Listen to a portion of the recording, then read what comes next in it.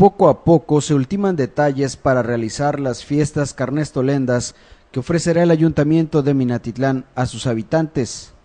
Pero hay un trabajo que pocos notan y que poco se valora, pero es necesario realizar para que luzcan estas fiestas.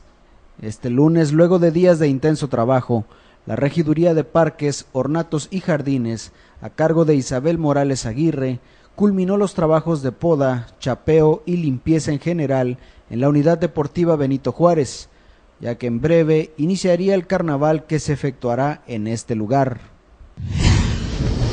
Todo lo que fue el jueves, viernes, sábado y domingo, y hoy estamos concluyendo aquí porque esto es lo que no se ve, lo que la gente que va a venir a disfrutar del carnaval de Minatitlán no sabe que atrás de toda esta limpieza están los hombres de ornatos, parques y jardines. Y que bueno, es una satisfacción contar con un equipo tan profesional como el que tenemos ahorita en la regiduría séptima y que tú estás viendo que es un cambio totalmente que se ha dado. Esto eran unos matorrales, estaba todo totalmente sucio, pero hoy quiero decirte que mira, tenemos un nuevo rostro para recibir a todos los minatitlecos y a todas las personas que van a venir de otros lugares al ver este elenco tan, tan maravilloso que se está haciendo precisamente para el esparcimiento de todas las familias.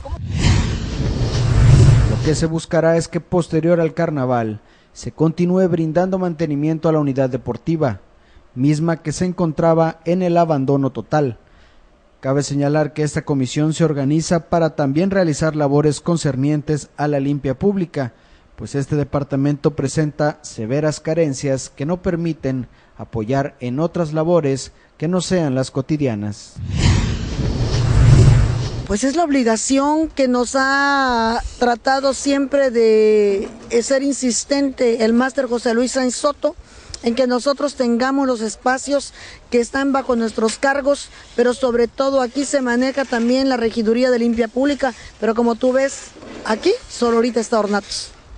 Ellos tienen muchas carencias también y nosotros entendemos la postura y hasta donde podamos nosotros eh, trabajar, lo vamos a hacer incansablemente sábado y domingo, eh, no los mismos que tú estás viendo porque ellos son sindicalizados, tienen un horario, lo cortan. Nos venimos con los ciudadanos este fin de semana, nos ayudaron, coadyuvamos, botamos basura, destroncamos, hicimos lo que pudimos hacer, pero teníamos que cumplir con todas y cada una de esta comisión.